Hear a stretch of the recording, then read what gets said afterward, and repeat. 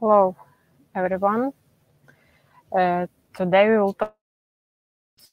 Very important topic is about uh, storing secrets, and we will talk today about AWS service, and we will have one more uh, workshop uh, about Azure um, services which help you to store your secrets.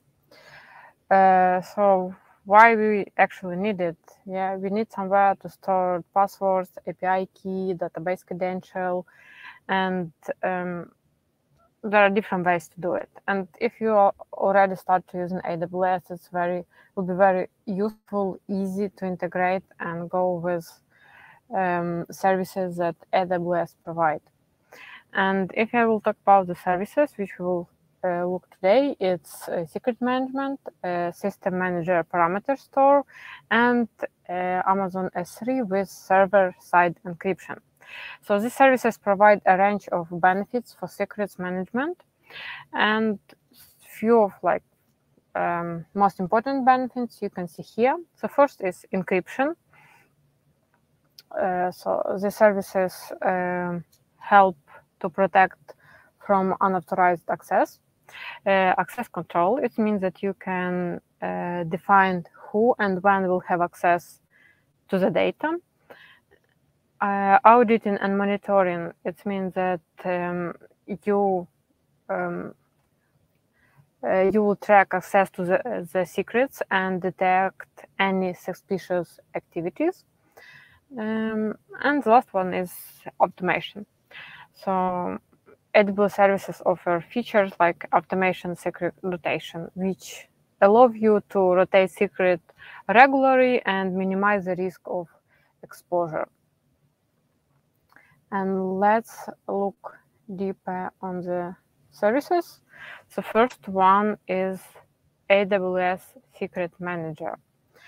Uh, what the service allow? The service allow um, so it's um, have capability for uh, rotation. Um, you can define which day you want um, to schedule it. Uh, automate generation of secrets in rotation with Lambda. So it's it's not automatically, you need to configure it. Uh, also, we have very good integration with Amazon RDS and can be encrypted by using KMS service. Also, uh, it's good to know that it supports multi-region secrets. So if you uh, service not in one uh, region, you can use one secret for for different region. so what is allowed? It's um, replicate secrets across multi-region. Uh, secrets manager keep uh, read replica in sync with the primary replica, and um, when it's the most common use cases is uh, when you have first multi-region app, but it's not the one case. Also, it can be used, for example, disaster recovery strategy, or uh, when you have multi-region uh, database. And here you can see actually the schema from multi-region secrets. So as you see, you have a secret primary on one availability zone, and um, you can have a replica in secondary. And also let's um, check a little bit. So uh, how it works. So it's not free, so you will need to pay uh, for for secrets if you want to use them. Uh, it's monthly and also by API calls.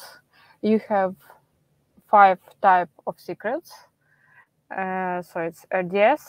As I mentioned, it's easy to integrate uh, document database, uh, credential for Amazon Redshift cluster, for other database, and for other type of secrets. And here we will check different type of secrets, so just usual secret that you can use. So go here and you can simply add key and value for example, we have my secret and we have my secret value. Uh, we can add more. For example, API key, and we add some key. Uh, it's have two different views, so it could be as um, in this format and it can be in other formats. So it's um, what is more comfortable for you to uh, add edit. Uh, also, you can add uh, encryption key. So you need to create it first. It's taken from KMS. You click next. So here you put the secret name just to understand, for example, if you have some secret for, for prod or for dev. Uh, also, you can uh, set up uh, your resource permission. It's very similar, for example, to S3. So you can define uh, who and which um, access, which resources, which access will have uh, to your keys. And you can replicate secret. It actually means that you can use it uh, in different region. so for example, select some time zone, select encryption key, add other region, and for example, the same key. Uh, yeah, so it's um, yeah, and next one is automatic rotation. It's what I mean it's configurable, so you can determine the time uh, when it will be updated and you will use new. And if you will use rotation, you will need also define lambda function, which will actually generate this um, secret. Here you will see all details about your configuration and also you will have a sample code. You can copy paste this code and use in your uh, application. So it will speed up uh, your time. Okay, uh, it was about uh, secret management. Uh, next, let's go to SSM parameter store. And uh, here, what actually it's a low. So it's secure store for configuration and secrets. It's optional. Um, you can add encryption with KMS. Um, it's serverless, it's scalable, it's durable, it's have very easy SDK. Uh, it have version tracking of configuration and secrets. And um, if you want to get notification, you can configure it together with Event Bridge.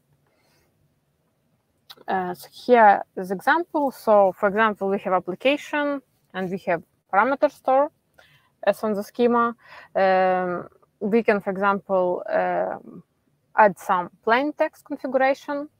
So a, a IAM permission for you will be checked so, for example, uh, your EC2 permission role, or um, you can have encryption configuration. So, in this case, SSM parameter store is going to encrypt it with KMS, and KMS will be used for encryption and decryption. And you need to be sure that you have access to this KMS key. Also, here in the left side, you can see uh, how you store in it. So it's a differently that we just see uh, you here you will have a hierarchy. So actually you can de determine any hierarchy that you want. And in this example, you have, for example, one application. In this application, you have dev environment, which exists some of your keys, and product environment that can actually, I think, will have the same key, maybe even more. Prod usually have more.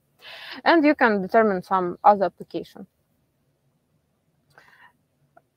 Um, yeah, uh, here I wanted you, um, uh, yeah, before we jump here, I also want to um, mention that you uh, can get data from the parameter store uh, by use get parameter or get parameter by path API. And um, you can get secret from parameters through through using reference. Um, reference, ah, yes, in the bottom. So the reference is AWS reference secret manager, secret ID, secret manager. So for example, or the other way, uh, like other example, which you can use is, for example, public uh, parameters, which are using um, with AWS. If you want to find some lattice for example, lattice AMI in specific region. So in this case, you can see second example. So it's AWS service AMI Amazon Linux lattice slash and the, and the details. Uh, in the table, you see parameter tiers.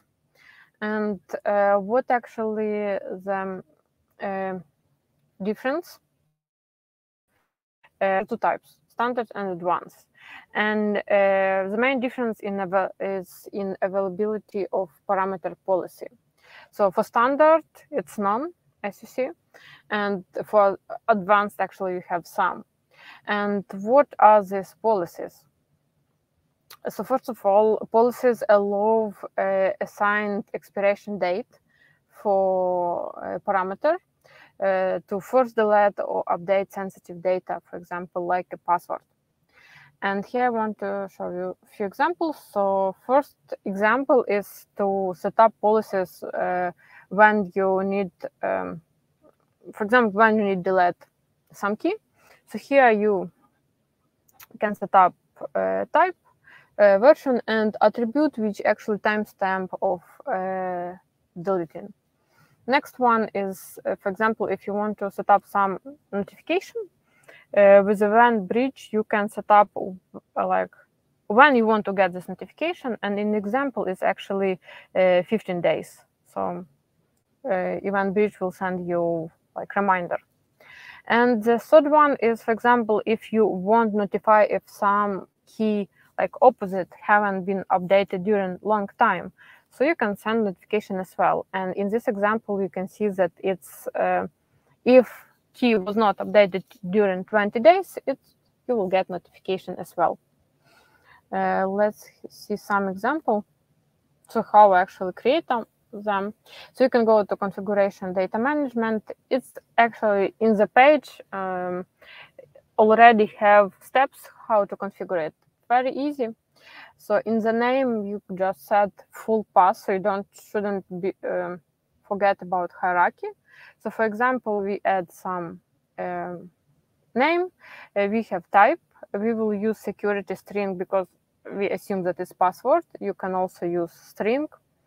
Uh, SKMS source, we'll use my account and uh, yeah, we select which specific KMS key we want for description and we can add the value. So as uh, as a secret uh, secure string, sorry, uh, you will not see this value. Uh, it have limitations, so based on your uh, plan, it have limitation uh, about the symbols, and you can see which which item you have created. You can also go inside and see details about which exactly value, when it have been stored, and um, other details about secret you have been created. Yeah, and the last one actually, how you can store the secrets. Uh, I have few example in my mind which came. Uh, it's when um, you set up, for example, a project and you can download secrets from S3 bucket. It's one example. So S3 bucket is sort uh, option how where you can store uh, secrets with uh, you need to use server-side encryption. Uh, we talked about encryption in previous workshop. Um, so yeah, I just think what else I want to add here. Actually, that's all. I think for Amazon I will not uh, stay too long. Uh, we mentioned it a few times during other workshops.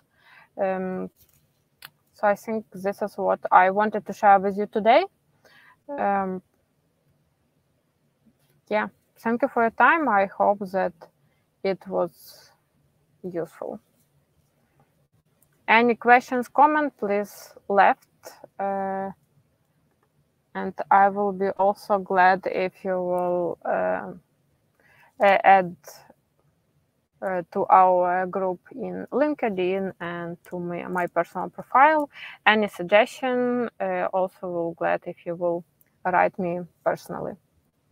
Yeah, see you in couple weeks.